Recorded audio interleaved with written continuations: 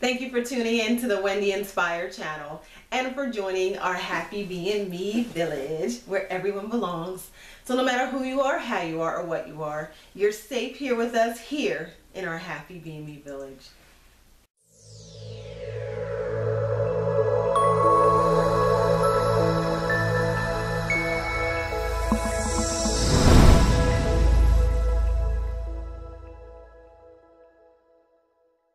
All right, it's special Thursday again. We have one, two more Thursdays before we are in the month month of March. So that's amazing how time flies. They say that time flies when you're having fun. So I guess I'm having oodles and oodles of fun. So this special Thursday segment, I want to talk about competition.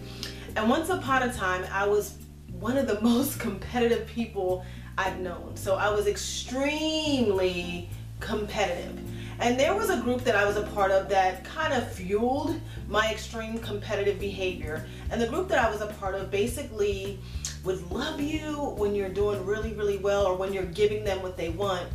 And then the second you're not able or you don't or you can't, they didn't love you. So many people that were in my group at the time were just fighting to feel love or fighting to feel, feel validated. So that was a piece of what fueled my extreme competitive behavior but I can't put it completely on the group. I was all I was just naturally competitive. I would compete for anything and everything that I can possibly compete for and I would always win. And that feeling of always winning that feeling of always hearing your name that feeling of seeing your names in light it started to um, become something that I, I felt that I needed more and more and more. So I competed about everything and anything that I can possibly think of.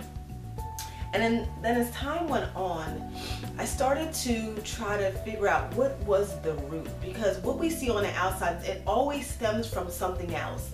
Our behavior stems from something else. There's a root for everything and anything that we do and anything and everything that we experience. So I started to dig really, really deep and try to figure out what is the root. Like, Wendy, why are you so competitive? Why is it that you always have to win? Why is it that you always have to be on top?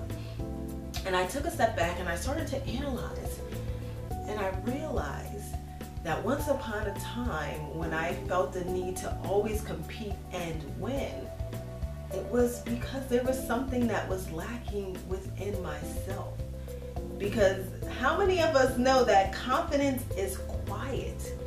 When you're really confident, when you really know what you have going for yourself, it's pretty quiet most of the insecure people are the loudest people. And I, I started to analyze that and I, I realized that there was something that was lacking within myself to feel like I always had to compete and I always had to win. And I'm so grateful that I got to the point where I realized that nobody can compete with me. There's nobody out there that is my competition. And I'm going to tell you why. There's nobody out there that is my competition because I am uniquely creative. There's not one or there's only one Wendy. Um, there's only one you. There's only one them. And each and every single one of us have like a unique and special gift a unique and special talent that can never be duplicated, that no one can take away, that no one can outshine because it was created just for us. And when you start to realize that, when you realize that there's only one you there's a special gift and talent within yourself that no one can take, that no one can duplicate. The desire to compete with others or the desire to stand next to others, it just kind of subsides. So I'm so grateful for yet another chain being broken in my life to know that you know there's there's no one to compete with and there's no reason to be envious of anyone or to desire their gifts or their talents because I have my own and you have your own. And about three years ago was about the time when I started to really wake up and realize that there's so much more to life than to always compete with someone. And once you truly find peace within yourself, all those other things are less important. So I'm going to share an oath that I created about three years ago. It's called the Happy Being Me Oath. I have one in my bedroom on the wall and I have one in my office on the wall. And if you're interested in purchasing one for yourself or your children or your loved ones, you can feel free to purchase it uh, at my website, which is www.someonecaresaboutme.com. But I'm going to grab my oath, we'll read it together, and I will see you soon. Be right back. All right, so this is my oath that I created about three years ago.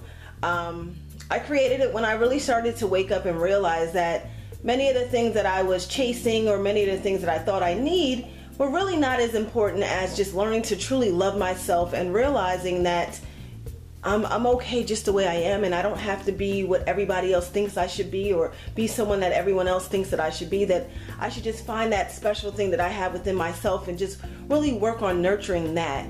Um, so I'm going to read my oath and then we'll go from there. All right, it is the Happy Being Me oath, and it reads I'm happy being me because I was created for a unique purpose that only I can fulfill. I am courageous, wise, and strong. I can do anything I set my mind to do. I have no need to compete with others because we are all given unique opportunities to be successful if I ever feel the need to compete, I will compete with the person whom I was yesterday. I grow stronger each and every day. I am destined for greatness and I love myself for who and what I am. If I stumble, I will get back up.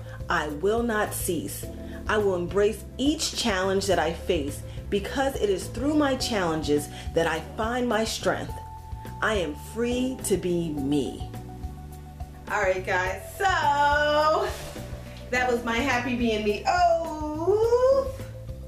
And again, you can purchase your own at someonecaresaboutme.com. And thank you so much for tuning in to the Wendy Inspired channel and for joining our special Thursday segment.